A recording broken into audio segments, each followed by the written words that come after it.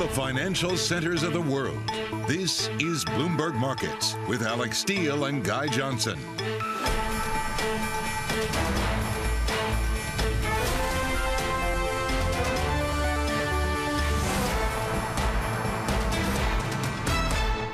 Virus versus vaccinations lockdown strike again in Europe while the FDA clears Moderna and Pfizer boosters shots for all adults. Stocks trade mixed, money rushing into bond market. Tesla 1400. We're going to speak to Dan Ives of Wedbush is now the biggest bull on Tesla, calling it a leader in the green wave. We're going to speak to Ives on his call. And a historic bill. The House passes Biden's a, human infrastructure plan. House Speaker Nancy Pelosi is set to speak at any moment. From New York, I'm Alix Steel with my co-host in London, Guy Johnson. Welcome to Bloomberg Markets. Uh, happy Friday. Happy Human Infrastructure Day, Guy. We're still a long way away, though, from this meaningfully yeah. getting into the economy. Well, we're still a long way away from it becoming reality as well. It's still got to go to the Senate, and who knows what's going to happen there. Sinema Manchin, what are they going to do? So, yes, this is a nice nice step forward for the president. He's not going to enjoy it because I think he's having a colonoscopy a little bit later on. So the victory lap may have to wait maybe until tomorrow, his birthday. But nevertheless, it is a big step forward. Uh, what are we, 220, 213? My understanding, according to uh, AMH, Annmarie Hordern in DC, is that voting is now done. So we're kind of there. But nevertheless, yeah. I, this is a lot of money. Say this gets done. This is, let's call it 1.6 to 2 trillion that is going to go into the economy at a time when the economy is firing on all cylinders and is starting to exhibit inflationary problems. Yeah, so, like, is this a good thing or a bad thing? Well, uh, the Journal had an editorial out today that said the actual real cost is going to be anywhere between three and four trillion because some of the programs won't really roll off after a year. So you could see a yep. much, much bigger uh, uh, infusion into the economy. To their point, do we really need 4 trillion? Do we need that kind of multiplier right now?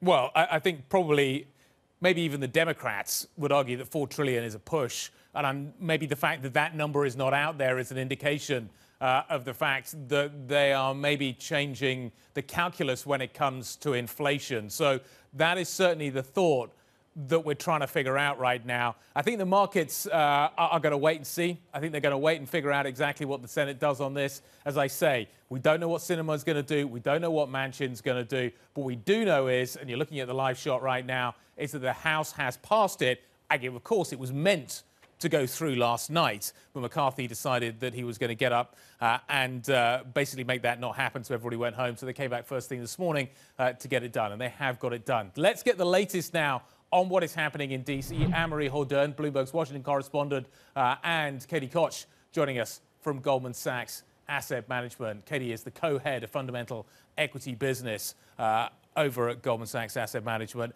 Annmarie, let me start with you. So it's done, but it's not done, mm. and we still don't know what the final number is.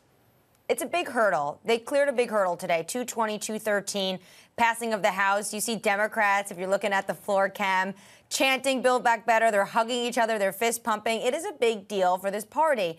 But as you say, Guy, they are not done because now this means this goes to the Senate. And the Senate is where it's going to be very difficult for the Democrats to really corral on and have a consensus together. They only have 50. They need every single vote. So any single senator, which we've seen happen with Senator Manchin and Senator Sin- Sinema, but any single senator can have an issue with a policy, a provision, and that could potentially block or drag on the talks. Now, Senator Schumer says he wants to get done before Christmas.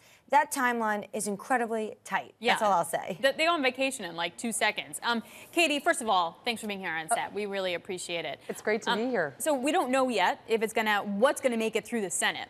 How are you playing it right now? Yeah, so I, I, appreciated the comments before that this could potentially be inflationary at a point in time where the economy is running hot, and I, I agree with that. But at the same time, one of our key theses here is that we are going to make a transition from outright recovery to actually more resilience, and that's a lot of the things reflected in this bill. Um, we do think it eventually passes in some form, and this, as a country, we're going to build more resilience into the planet, into the healthcare system, into the way that millennial families operate, um, and we're very invested in a lot of the trends that have been outlined in this bill, and so our expectation is that it will eventually get through.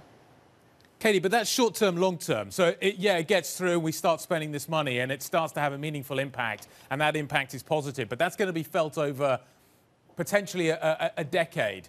right now we have an inflation problem. Uh, and, and even if some of this money is going to be spent further down the road, some of it's going to be spent now. Do we really need to put extra government spending into the economy right now? I hear what you say about the long term story, but right now the president's biggest problem is inflation. The economy's biggest problem is inflation. We agree that inflation's an issue, and um, we've been pretty vocal from our equity team saying that um, while a lot of the, the, the macro uh, specialists have said that it's transitory, we've actually seen something really different bottom up from our companies, and they're all struggling with it. So we agree with that. At the same time, I would say that we have a lot of tools to deal with inflation. And I think that's what we're going to see the Fed start to do for the rest of this year. Um, and um, that's how we think it'll probably be handled and addressed through a rising rate cycle. And, and, one thing on inflation I'd like to just say yeah. from the, the DC point is that clearly the president is now using his economic agenda as a point to say that it's actually going to relieve inflationary pressures. But he's talking about those long term inflationary uh, uh, pressures. And the CBO score that I'm really looking out for, obviously, we have the score for the bill uh, on their analysis, the Congressional Budget Office, but the inflationary impact we will get in January. And I've always wondered when I heard that if this means that some key senators will use that as a way to potentially slow up the process. And key senators, I think of Senator Joe Manchin, who has been for months talking about that he doesn't believe that inflation is quote unquote transitory. And he wrote to Jay Powell in early August saying we're over prescribing our economy. We're overstimulating this patient that is the U.S. recovery. All right, so Katie, drill, drill deeper here. How mm-hmm. do you hedge inflation right now in an equity portfolio?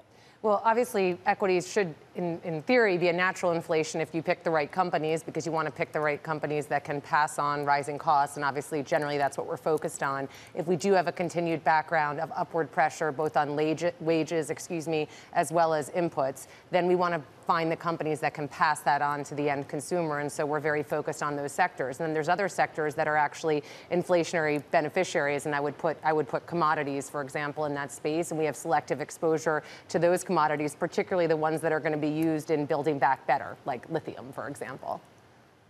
Katie, do you worry that that rate cycle may have to be put on steroids? That ultimately the Fed's decided it wants to be late when it has to actually pull the trigger and start that rate hiking cycle, it's going to have to do so relatively quickly. Is there a danger that that starts to upend if it goes significantly higher? And some people are talking about 3 4% than the market is anticipating currently, the rally that we're seeing in equities right now.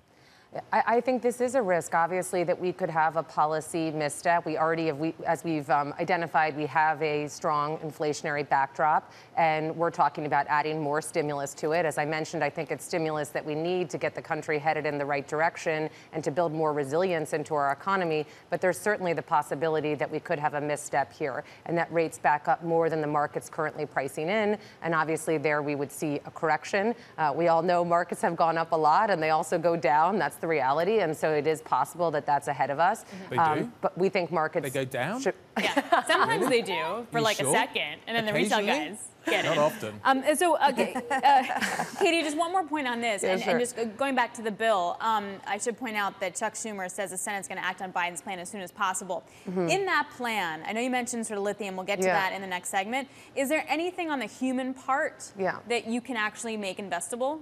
Yeah, so I really liked what um, part of this bill, they're talking about um, health care and provision of affordable health care. I, I, would say, big picture, we have um, the lowest labor force participation rate in this country. And there's a lot of reasons for that, which we can get into later. Um, but one is barrier has definitely been the lack of affordable daycare.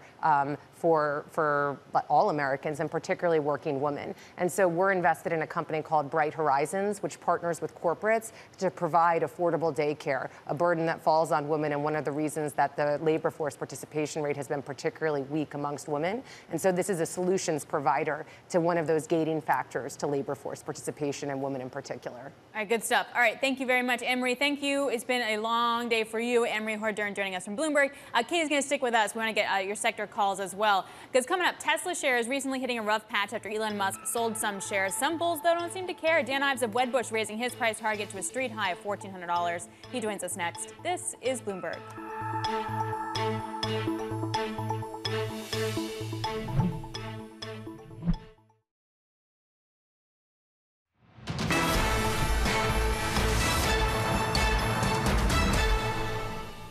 41 minutes into the session, live from London. I'm Guy Johnson, Alix Steel over in New York. This is Bloomberg Markets. Let's talk Tesla. Let's talk EVs. The recent drop in Tesla shares not changing Wedbush's view of the stock. The firm raising its price target from 1100 to 1400, reiterating its outperform rating. Apparently, there's a, a, bull case here, which is 1800. Let's join now the analyst that made that call. He is, of course, Dan Ives, Wedbush Securities equity strategist covering Tesla, the EV space. Dan, what gets you to 1400? What gets you to 1800?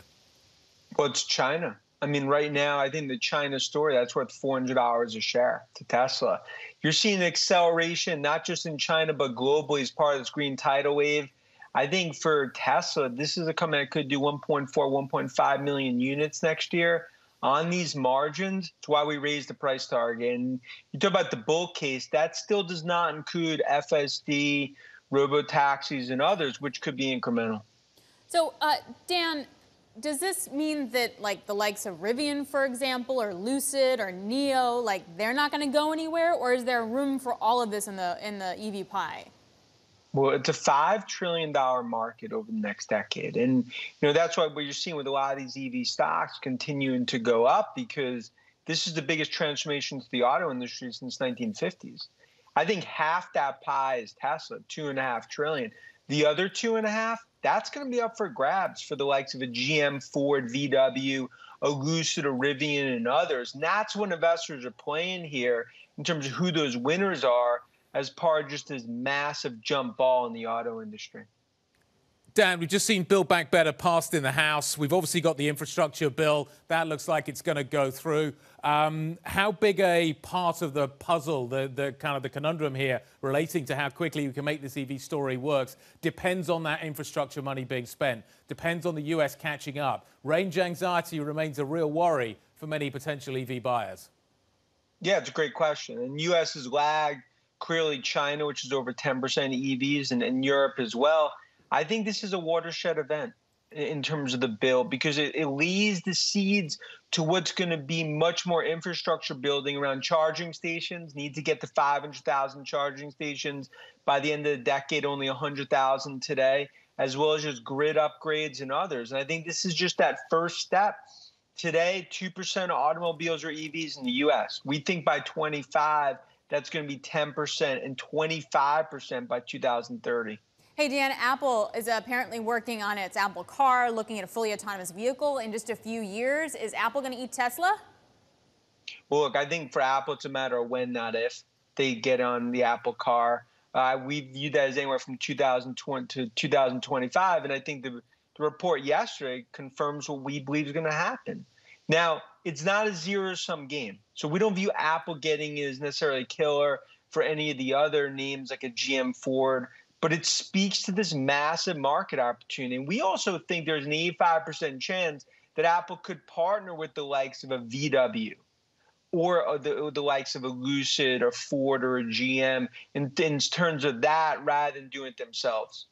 All right, Dan, thanks a lot. Really appreciate you uh, jumping on with us. Dan Ives of Wedbush Securities. Katie Koch of Goldman Sachs Asset Management still with me as well. All right, so we got that $1,400 price target for Tesla. Do you play Tesla? Do you just play the EV sector? What do you do?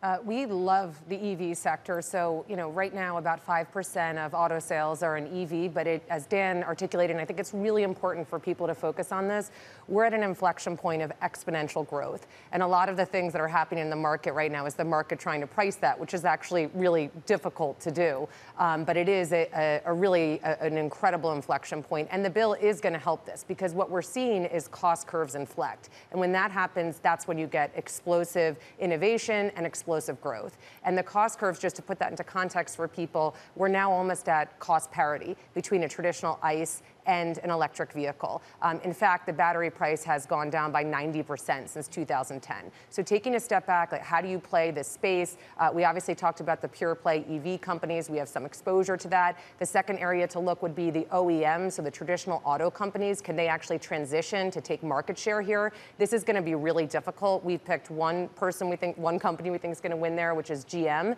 Um, but it is a very difficult thing to reinvent your business. Uh, the third would be the existing tech platforms Getting into the space. You mentioned Apple, Google's doing it too. This is smart for them because they are the tech titans, and uh, history shows it's unlikely that they'll keep that hegemony over the next 20 years. So they have to tap into an exponential growth opportunity. Maybe this is it. It's a little tough because it's diluted. You can't, when you buy those companies, you're not getting a lot of EV exposure. The fourth area that we would say we're most excited about is actually the supply chain because it doesn't matter who wins. As Dan just articulated, it's a little bit complicated to figure out who's going to be the big winner. Yes, have exposure to some of those, but the, we know the unambiguous winner is going to be people supplying in the supply chain. Mm. And so we like um, Aptiv, which makes the electrical wiring for, for the vehicles. Uh, we like Wolfspeed, which is one of the semi uh, providers. They, uh, and then the third area I would say is a company called Nidec, which is Japanese, but it makes the small motors used in a lot of these vehicles. Katie, are you suggesting that the big traditional OEMs don't survive? You talk about GM surviving. Rivian's worth, well, it was earlier this week, worth more than Volkswagen. Like, is that an indication of the future? Does Volkswagen cease to exist? Um, I, I, wouldn't. I think that what you're going to see is what you see when you have disruption in, in, in any sector, which is that there are going to be some winners. And right now, we believe that GM is the best positioned um, of them, and that's where we have our capital allocated. And then there, there may be a few that are not able to reinvent themselves as much. Um, I don't have as strong of a view on that, just to say that you're going to have to be highly selective in this space. And so we're more focused on who could reinvent themselves and come out the other side. And for us, that's that's GM. Um, by the way, a great book for people to read that want to educate educate themselves on what happens in this space would be Clay Christensen's Innovator's Dilemma and how difficult it is for these incumbent businesses mm-hmm. to continue to run the old business but disrupt that and get into a, a, brand new market. Yeah, to see what's happening to some of the oil companies too as they're trying to do the green transition. Absolutely. Um, okay, part of all of this also mm-hmm. has to do with chips. Yeah. Uh, a lot of the traditional OEMs are trying to now make their own mm-hmm. chips mm-hmm. like a Ford. Yeah. How do you play that trend, particularly around the supply shortage? Yeah, I think that what's happening in chips right now and in the, the semi industry industry generally is, is very, very interesting. Um, we clearly have major supply chain issues broadly, um, but in the semi industry specifically, we're at a record high in terms of from when we put an order to when you get a chip delivered. Uh, 22 weeks, and that's for a basic chip. It's even longer for the leading edge.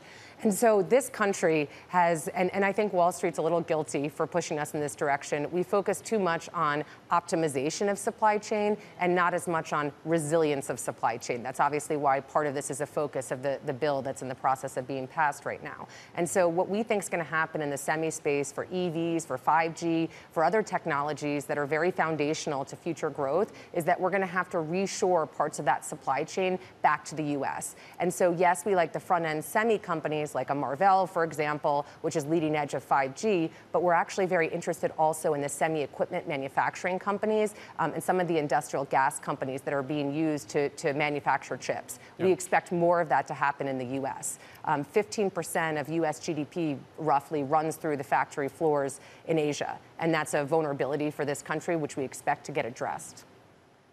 Uh, and one of the reasons why that vulnerability has been highlighted is as a result of COVID. Katie, mm-hmm. we're seeing countries in Europe going into lockdown. Austria today, Germany potentially tomorrow. Uh, you've got cases building in places like Vermont and New Hampshire, the Great Lakes area apparently as well. Mm-hmm. How much of an eye are you keeping on this? What do you think you need to do in terms of positioning the portfolio if we are going to see another winter surge? Yeah, I think this is, of course, a, a, real risk, and we've said for a long time we're going to have to continue to work through a lot of the pressures from this pandemic. We already know what the obvious path to solving a lot of this, which is increasing vaccination rates in this country and around the world. So that's obviously one path we're focused on and invested in the companies that are going to drive that vaccination. Um, and then we also need to build prophylactics because we know that people who are vaccinated are actually still able to transmit the disease, and we need to address that too. Um, so we think, you know, it is going to be a couple of years until we get this fully under control. What I would say, though, is that we're not going to see the stop uh, in GDP that we saw in the first quarter of 2020 again, because we actually have more tools to address it from a healthcare system perspective, but also more business resilience um, to address it and an easier ability to go from, to, to, a flexible work arrangement, for example, across a lot of industries. So while there'll be some disruption, and we have to be prepared for that, we're not going to see that the stoppage that we saw in the first quarter. So I feel like before you bought RVs, then you were buying some yeah. swimming pool makers. Would you buy like hotels and airlines now based on like it's not going to be a full stop? Or do you still like the sw- swimming pools and RVs? We, we, we do like still like very big picture. We love the millennial consumer. The millennial consumer um, likes experiences over things. So pools and the great outdoors, including RVs, would kind of be in the experience bucket. Maybe I'll give you a new idea today. The other thing that we like, which is connected to working from home and working at work, is the footwear space. Um, and so we are have an overweight in, um, in sneakers. I guess would be the best way to say that, as well as Crocs. So we own Crocs. We own On Running, which is a Swiss company that makes. Um, uh, running shoes, light light running shoes. Um, we own Allbirds and we own Deckers, which make both Uggs as well as the Hoka running shoe. So this is a play on the millennial preference for uh, an active lifestyle. Yep. And it's also a view um, that people are, while they've given up their sweatpants and coming back to work, if you looked at the feet of all the people coming into the Goldman Sachs office, they're wearing a lot of um, a lot of athletic footwear. I don't know what you're wearing, Guy, now, but maybe you're. Are you are you in Well, I- sneakers? uh, the, the, the tr- uh, not yet. Uh, maybe later. Um, but He's but not the, a millennial. The trend, Let's be very clear. Oi. Um, but apparently, the big thing in London now is because over here, wearing brown shoes has been completely anathema. You've never been able to wear brown shoes in the city of London. Apparently, that is now acceptable. So we're kind of inching forwards. You guys are making huge strides You forward. got to get into those but you- shoes. You want to project activity and that you're on the leading edge Yeah. and you're out there doing stuff. He So- really, he really doesn't want to do that. I, I really hope nobody's going to take a shot at my feet right now. You're definitely talking Alix's language, though. There you go. You're in the wrong No sneakers shoes. yet. You are against my investment thesis. Okay. Well, next time you come back, I'm going to have no tie and I'm going to have sneakers on. All right. Never gonna happen. See what the boss says about that. Never gonna happen. We'll see. You never know. Things are changing. Katie, it's great to see you. It was awesome to be bringing, here. Always, always. Well, nice to see you in the studio and and bringing fashion advice as well as investment advice. What more can I ask for? Katie Koch, Goldman Sachs Asset Management. Thank you very much indeed. What's next? ETF Friday. This is Bloomberg.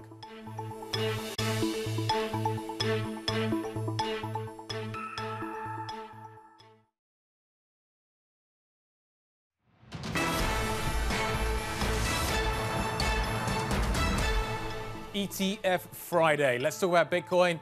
Bitcoin seeing signs of support after falling nearly 20%. Dave Wilson is here to tell us more. Well, Guy, you've definitely got support in the Bitcoin futures ETF market. Now, we got to say, a month ago we were talking about five of these funds coming out. Only three actually made it, and the latest was Van Eck this week. Uh, you had ProShares and Valkyrie. ProShares clearly is the winner uh, in terms of assets. They were at 1.4 billion. They've managed to have inflows almost every day since they started trading last month. And you know now it's gotten to the point where you got a new global X fund that is combining investments in blockchain shares and Bitcoin futures. So you know there, there's plenty of support. All right, Dave, cool, good stuff. Thanks very much. Bloomberg's Dave Wilson joining us there. Coming up, we are set for the most expensive Thanksgiving ever. We're going to talk to the CEO of National Grocers Association President. This is Bloomberg.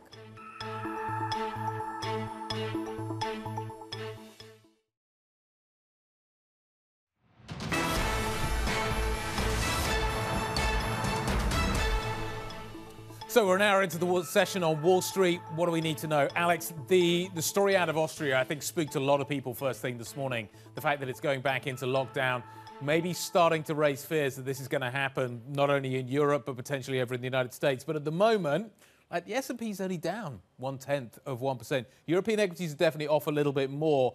Volumes reasonably okay today, but definitely kind of Europe, peripheral Europe, under a bit of pressure here. But I think it's, it's kind of like what is down versus up. So on the downside, it's energy, financials, and industrials. It's all the cyclical guys that would benefit uh, with higher yields and any kind of reopening and travel, right? That's going to put the kibosh on it. You don't even know if you're going to get to take your uh, Christmas holiday, which you will not be happy about. At the same time, you're seeing money definitely flow into the bond market. Uh, you're seeing very strong buying in the front end of the curve, yields down by about five Yep. basis points. All that pointing to maybe the central banks now are going to have to ease off, uh, and those uh, maybe price hikes get priced out in some kind of capacity. On the flip side, and I mentioned this earlier, Guy, Moderna, Pfizer, those stocks up really strongly because of the boosters. Yep. Yeah, and and you can understand that there is going to be an increased need for potentially those boosters as well. So you need to certainly pay attention to that. Um, it, it is interesting though, if you think, of, is this Will this exacerbate the inflationary story or will this ease the inflation? Oil is down. So that is a factor that's worth thinking about in terms of what the president's been looking for. The president's been super worried about what's been happening with gas prices. Mm-hmm. They are going to certainly start to nose off fairly quickly if this oil move that we're seeing in Brent continues low, because Brent gasoline, that's the, that's the link. Um, but, but if we do see more COVID cases, more lockdowns, is that going to exacerbate the supply chain problem that we have at the moment that is so inflationary?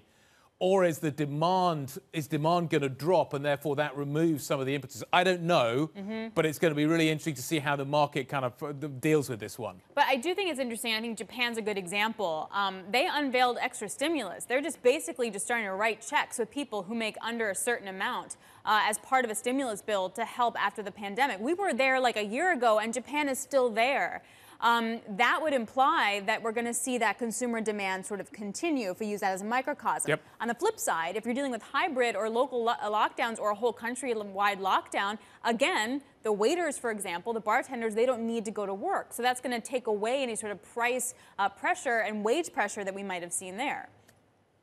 Yeah, I, I agree. There, there's definitely two ways of looking at this. Um, but if you think about the the, the, the impact last time was we ordered more stuff, right? Yeah.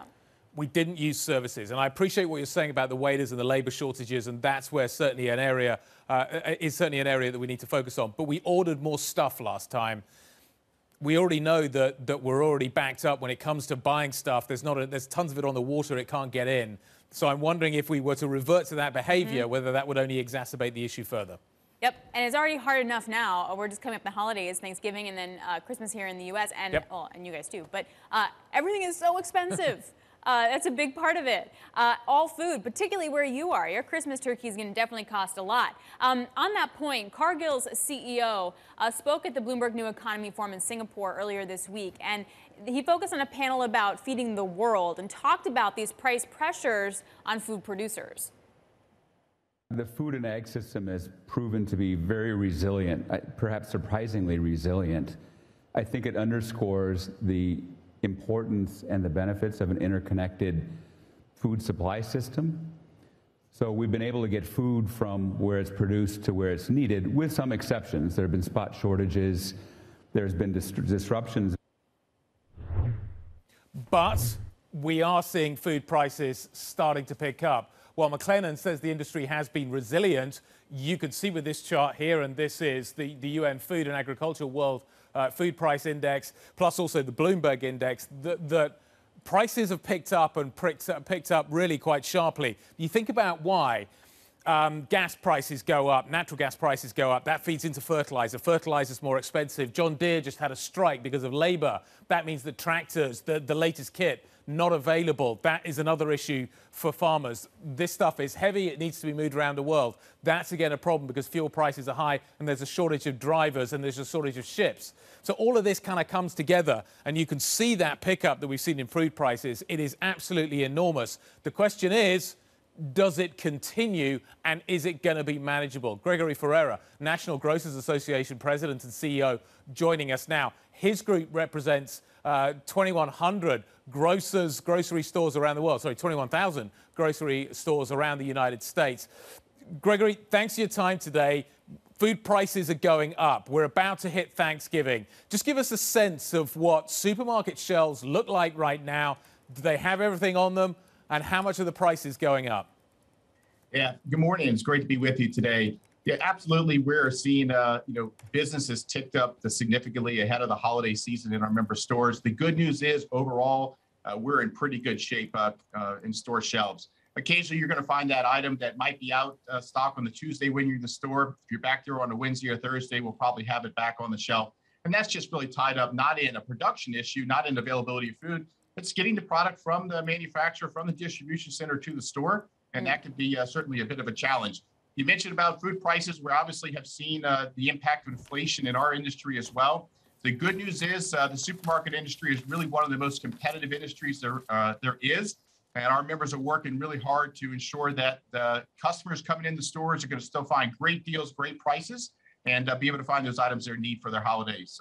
So the produce that you guys buy, does that wind up crimping margins if you're still trying to be stay really competitive? Yeah, absolutely. It'll have an impact on on margins. Uh, inherently, the supermarket industry, particularly independent supermarket industry, is a, a fairly low margin business. Uh, on average, uh, less than two percent net profit. Uh, so we need to sell a lot of items, and we need to uh, make sure we're being very competitive, so we can uh, have show value to those customers who are coming in our member stores. but they are going to see some of that be passed on. The reality is, when we're seeing cost increase coming down the supply chain, you can't absorb everything. And uh, so some of that is going to be passed on, and therefore our members will continue to look at how do we really make sure there are good deals, good sales, and good value for the customers coming in the store to help them out. Gregory, where are the biggest bottlenecks? Where are the biggest shortages? Uh, are apples going up versus oranges? Frozen goods uh, versus non-frozen goods? Just give me a sense of kind of where the, the real pain points are in terms of prices rising. You know, I think it's it, it's spread across all the different departments in the store. Certainly, we've seen it uh, in the meat department. We're seeing it in center stores, so that's dry grocery type items. Uh, but we're likely to you know to see it across most most of the departments in the store.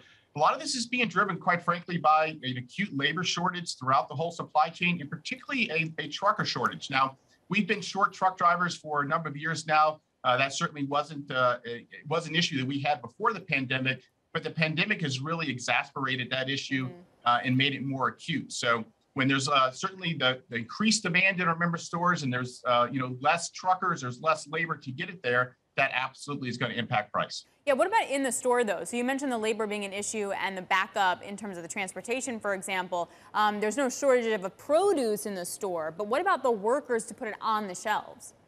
Yeah, look, our, our, members, uh, I would say every single one of them have uh, help wanted signs uh, out front of their stores right now. Uh, they are certainly working to get more people in the stores. Look, not only um, have they remained open during the pandemic, and I think have done a great job of taking care of their frontline workers. We call them supermarket superheroes because they really are. Um, but we, we need, uh, with this increased business, particularly going into the holidays, it's going to be important that we've got enough labor to be able to serve those customers. So our members are doing some other things as well, right? They're employing technology, they're employing uh, a mix of self checkout and full full service checkout, and redeploying uh, uh, workers throughout the store so that those workers are really in areas that are customer facing and can make sure they're serving those customers in the best way possible. What happens after Thanksgiving? What happens after Christmas? What does the new year look like?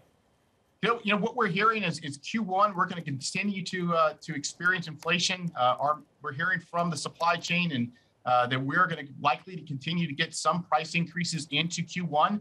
I think a lot of it depends on what happens, right? Um, if we continue to have success with vaccines, we continue to have success with COVID in the United States, we will likely see an uptick in cases, but hospitalizations have been fairly steady. We're seeing therapeutics, uh, you know, come out into the marketplace. Boosters mm-hmm. are now available for folks. And so I think that you know we're going to continue to see some pressures, but hopefully we continue to move in the right direction. Uh, here in the U.S. Before we let you go, Gregory, I just want to get your take on that because we're seeing renewed lockdowns over in Europe, and we are seeing cases rise in certain areas in the U.S., particularly now focused on the Midwest. Um, your members, are they doing anything differently? Are they having to shut some stores, limit hours, do different requirements? No, for the most part, it's business as usual. Look, we've had safety uh, protocols and protections have been in place from day one. We've leaned in. We've been ahead of government and quite often in a lot of areas in protecting our employees. That's what we will continue to do. Uh, we're not anticipating seeing any lockdowns. We just need to continue to focus on vaccinations and making sure that we're taking care of our communities, and we'll be there for them. All right, Gregory, thanks a lot. We really appreciate you spending this time with us. Uh, Gregory Ferrara, uh, National Grocers Association President and CEO. All right, coming up, we were talking about it earlier. The EV revolution is bound to change the way that we drive and travel. So we're going to talk with the CEO of an auto tech startup about how we'll adapt to that EV world. Richard Barlow, a Wejo CEO and founder, is coming up next. This is Bloomberg.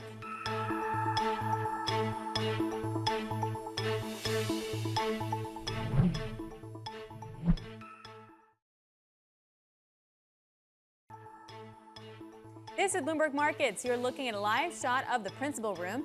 Uh, Dr. Steven Corwin coming up. New York Presbyterian Hospital CEO will be joining Bloomberg at 12 p.m. in New York and 5 p.m. in London. This is Bloomberg.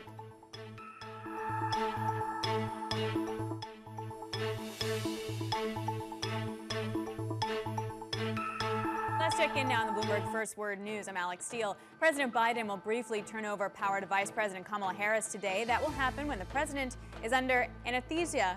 I actually cannot say that word while undergoing a colonoscopy at Walter Reed Medical Center. The White House says George W. Bush followed the same process twice during his presidency. The infrastructure bill that President Biden signed into law could end up saving lives. The legislation calls for requirements that new cars will be equipped with whatever tech, new technology best prevents drunk driving deaths. There are also calls for regulations involving other safety technology like automatic emergency braking. And that is your first word news, Guy. Q. Crushed it. Q. Alix, well done. Q mocking, yeah. go. I actually, my husband and I spend a very long time getting me to try and say that word, anesthesia, and I actually, I, I literally can't do it. Anesthesia. Can't do it. An- anesthesia. Okay. yeah, it's it's tough. It, it you look at it on on an auto cue. It's not the, the the easiest word to say, but wow, but you managed so nice to work your you. way through Thank it. Thank you. No, that that wasn't nice of me. That was me being British. Got to decipher this one. so much mocking. Understand. But well deserved. Yeah. Well deserved, no, honestly. That, yeah. I mean, I, I, really tanked that word, so fair enough. If, you, if, you're going, if you're going to take the mickey out of my shoes, you are going to get something back, I tell you. Anyway, let's park that for the moment, and I use that word operatively. Joining us now is someone who helps develop IT solutions for safety on roads. Uh, Richard Barlow, Wejo, CEO and founder. Now, the company collects data from 11.9 million vehicles and basically converts it into insights about what is happening with road traffic conditions, accident black spots, uh, health of cars. I, we all increasingly use this technology. I'd certainly do pretty much everywhere I go. I haven't picked up a map in a very long time. It's gone public today via a SPAC. Uh, Richard, um, thank you very much indeed for joining us. We really appreciate it. First of all, let's just, let's just deal with the kind of the mechanics of the SPAC. Why did you go this way? What difference is it going to make? What are you going to do with the money? Well, access to capital uh, on a gross basis. We now have access to over $225 million. Uh, we have huge automotive manufacturer demand to, to roll out products in Japan, the whole of APAC, the whole of Europe, um, beyond in the US. We've, we've operated in the US for the last three, four years. So this, this gives us that, this enables us to supercharge our business with the backing we've now got from Microsoft and Palantir, we, we, we're already the market leader in the US. We intend to be market leader globally. Um, uh, on a real time look right now, are people moving around right now? What can you tell us? Right now, I can see from less than a minute ago, 7% of vehicles moving around New York, 12% in Austin. We hmm. receive over 450,000 data points every second. So less than a minute. So we can see intersections, we can see traffic light changes, all on a trend basis. So there's um, so very much the consumers in control, the drivers in control about what they share with us, but we, we're helping cities be safer. We're helping reduce emissions in cities. We're helping reduce congestion in real time. One of our key map partners is Microsoft. We're helping them improve their mapping product. In terms of what's going to happen next, this feels like it's been EV week. Uh, we've not only had the kind of whole story around Rivian, Lucid, etc., and the share price gains and losses that we've seen. We've also seen the infrastructure bill going through. That's going to be huge for the United States, and it's certainly going to turbocharge. We've used turbocharge, we've now use supercharge um, in, in terms of what is going to happen. What what is the impact of this going to be? Do you think on mobility in the United States, the acceleration of the EV story, and what does it mean for your business? Yeah, I mean, the infrastructure bill includes an $8 billion budget to install charging points. We're working with motor manufacturers, we're working with utilities companies to establish where to install these EV charging points. We actually ran a hackathon a couple of weeks ago at Palantir, uh, and we one, one, one of our use cases we came, came up with is how we can in real time now establish where are EVs parking, what is the battery level, where are they going home to? So hmm. we're we're helping install in a real-time environment now where should EV chargers be installed, which has fundamentally changed since since COVID has changed the profile of driving. Who do you work with on that? How, how, how does that come up from the data to execution? So we get live data from vehicle with consent of the driver. So we understand the battery life. We understand battery temperature in some environments. We understand the temperature outside. So for example, charging an EV in Alaska is different to charging an EV in Texas. There's a fundamentally different performance of the battery life. So, and we've got partners like Hella. Hella are a six billion euro tier one manufacturer. They, they, they're a big EV manufacturer. We're helping them make more informed decisions. We're helping with partners like Palantir help inform the, the whole utility sector. In terms of kind of how this process is going to accelerate. Um, We've had Apple today talking about the fact that it thinks that it can produce uh, a fully autonomous vehicle by 2025. I, that sounds like a stretch to me, but nevertheless, how, how is your data going to make that step possible? I, communication is going to be absolutely critical. Extremely granular data is going to be absolutely critical. What have you got that is going to help that process? So we've machine learned every lane of every highway. We've machine learned to three to three meter accuracy from the 11.9 million vehicles on platform we get data from in a real-time environment. We've received over 477 billion miles of data. That's 20 times more than Tesla, uh, 20 times more than Alphabet's Waymo. So we've got a huge data asset and we're machine learning all the time the outcomes. We're helping most manufacturers already design parking utilities where an AV, an autonomous vehicle, will know where to park once once it drops the, the driver off. It'll, it'll then inform other AVs in the area as to where, where they could then park. So there's going to be a huge number of infrastructure requirements and data requirements, and Wejo's positioned with a huge data asset already built and adding to, a, um, and we, we're becoming a central component of the, of the AV industry and the EV industry. Wow, very cool. Richard, thanks a lot. We really appreciate you spending some time with us today. Congrats on the SPAC. Uh, Richard Barlow, uh, Wejo founder and CEO. Breaking news for you. Federal Reserve Governor Chris Waller uh, saying he favors a faster taper on jobs gains. Mike McKee is here with the latest. Mike, you are seeing sort of yields come off the lows of the session on the front end from this. What did we learn? Well, it's a little interesting because uh, we haven't had a Fed governor dissent since 2005. So Waller taking a very strong position here may indicate that we're beginning to see some movement on the Fed towards that faster taper. Here's Waller's key quote. For my part, the rapid improvement in the labor market and the deteriorating situation, uh, deteriorating inflation data have pushed me towards favoring a faster pace of tapering and a more rapid removal of accommodation in 2022. Now, you could read the last phrase as maybe starting rate increases because as long as you are still adding to the balance sheet, uh, you're not removing accommodation. So at this point, uh, it is an interesting development uh, that he is speaking out so firmly, but of course, a lot's going to depend on who's with him on the Fed when we get to next year. Yep, and potentially this has the um, effect of bringing forward the opportunity to raise rates as well. The whole time change the whole time sequencing starts to change. Mike, thanks very much indeed. Uh, it's going to be a busy week next week. We are going to hear from, from a lot of Fed speakers. Ton of Fed speak next week. This is Bloomberg.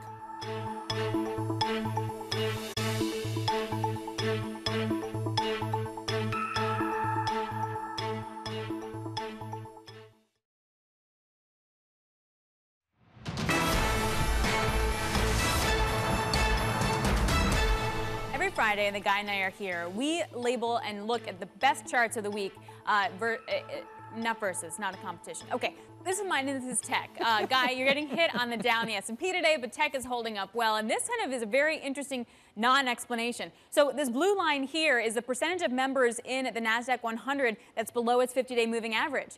That's rolling over at the same time. You have the NASDAQ 100 continuing uh, to move higher. So that divergence quite interesting, but a large part of this white line is Apple and Tesla. You take those out and you're going to have the rally that we've seen in that index uh, since the beginning of November. So it feels like we're back to that kind of theme. Those large cap FANG tech stocks are moving the, uh, moving the needle. Yep, absolutely. Um, it is EV week, so you have to roll that in. So nice to get that, uh, that little element Uh, within that too. Um, I'm going to talk about the euro. I'm going to talk about this chart here, friends with benefits. So the euro is down, what, year to date? 8%. We're, we're down at a 16 month low. Um, clearly, one of the factors that we are watching here is the divergence between the ECB and the Fed. But it'll be interesting to see whether or not uh, the pickup in COVID we're seeing drives the euro down even further. But there's obviously an effect, and we're starting to see it spilling over. Think about what this could mean for Europe. So this chart here basically models uh, the euro area exporters and the euro area domestic domestic stocks. The blue line is the domestic stocks. They've been doing better as the recovery has started to kick into gear. The exporters have done less well. They've done okay, but less well uh, than the domestic stocks. Now, what you could see is that being completely flipped on its head, Alix, as a result of this weaker euro uh, because it'll give the opportunity for the exporters to do a little bit better. Uh, think about what is happening in the healthcare sector, which is huge, obviously, across Europe. The luxury sector, massive impact in France. That could have a huge benefit in terms uh, of the impact of the CAC. So think about those exporters and how they could benefit from this if the euro continues to weaken from here. Mm-hmm. We've come all the way down. We're kind of circa 113 right now. Some people are talking about a move to 110. Yeah, I've seen a, lot of calls for next year for 110 or even below. Uh, UBS, Deutsche Bank, for example. But I have to wonder, what point guy does the weak euro become a negative because it's actually a growth scare, a lockdown scare uh, versus just a central bank divergence?